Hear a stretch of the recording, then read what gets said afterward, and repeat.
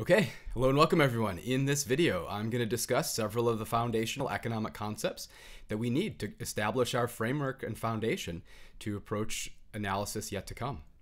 So I'm going to talk about scarcity and choice. I'll talk about opportunity cost, comparative advantage, self-interest, and marginal analysis. So scarcity, it's truly at the heart of economics. It's the basic realization that we have more possible uses for the resources around us than those than the amount of the resources available. So the idea is people have unlimited wants. There's a lot of different things you could do with our resources, but there's only so much to go around. We can think of resources really broadly. So it could be in terms of like the standard factors of production, land, labor, and capital, or entrepreneurial talent, as some authors will add. But we can also think of resources more broadly. We can think in terms of the money, the time, the attention span that's involved. And clearly, these things can be spent on one thing or another, but typically not both at the same time. As a result, people face trade offs. So the trade offs mean, well, you're going to have to do one thing, or you could do its alternative. And in doing so, this is where people incur opportunity costs. So, opportunity costs refer to whatever is sacrificed or foregone when you do one thing instead of another. So, clearly, in the presence of scarcity, when we face a trade off, we do one thing with our resources, we give up the ability to do something else. As a result, we have incurred an opportunity cost, right? So the opportunity cost is the sacrifice, it's the cost of what's lost.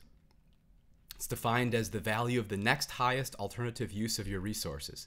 It's whatever you're most giving up when you do one thing instead of another. That's what we mean by opportunity cost.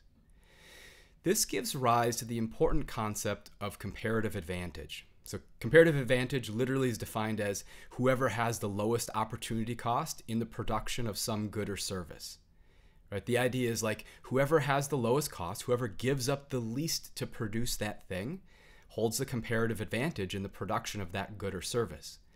This actually naturally gives rise to the division of labor to specialization according to comparative advantage where economics suggests demonstrates that what should actually happen is whoever has the comparative advantage whoever gives up the least to do something ought to specialize in providing it.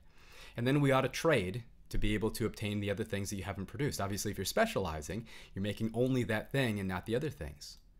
This makes sense when you're able to specialize according to comparative advantage, and then economic surplus is generated by virtue of the fact that whoever's actually doing the production has the lowest possible costs.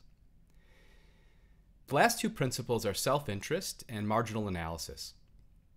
So, economics assumes that people are selfish and rational, Part of this is the self interest assumption. So we're assuming that economic agents, which we're thinking of as people, households, firms, whoever's making the economic decision, is going to seek after the actions that are going to improve their own well being. And we're going to assume that they're going to try not to go out of their own way to get in their own way, right? People are not going to try to voluntarily work against their own interests. That's what our principle of self interest is assuming. Lastly, marginal analysis means that when people are considering the full set of costs and benefits involved, they should actually break these down and think about what's the incremental contribution of doing one more unit of the particular activity. So, what's the incremental benefit or the incremental cost? Right? Like if I decide to if I decide to go and work out, what's the incremental benefit for spending another minute, another 15 minutes? Or if I decide to hit the snooze button, what's the incremental benefit associated with doing so? Well, at the same time, there's a cost. So, what's the incremental cost of working out for another minute or another 15 minutes or sleeping in, hitting the snooze button again? There's a cost. Very often, this is an opportunity cost. You lose the ability to use that time for something else. Well, anyway, what marginal analysis is doing is it's saying, well, we ought to compare the incremental, the marginal benefit to the incremental marginal cost. If the marginal benefit exceeds the marginal cost, you should keep doing that activity we're assuming over time the marginal benefit is going to be decreasing, and eventually, though we start off with a marginal benefit bigger than the marginal cost and continue doing the activity, eventually marginal benefit becomes equal to marginal cost. And that's where we've optimized. Or if you're currently at a point where your marginal cost is bigger than your marginal benefit, you should do less of the activity until the point where the benefit's large relative to the cost. And again, there you'll have a situation where marginal benefit again is equal to marginal cost. Right? The optimal level of a particular activity is where the marginal benefit is equal to the marginal cost.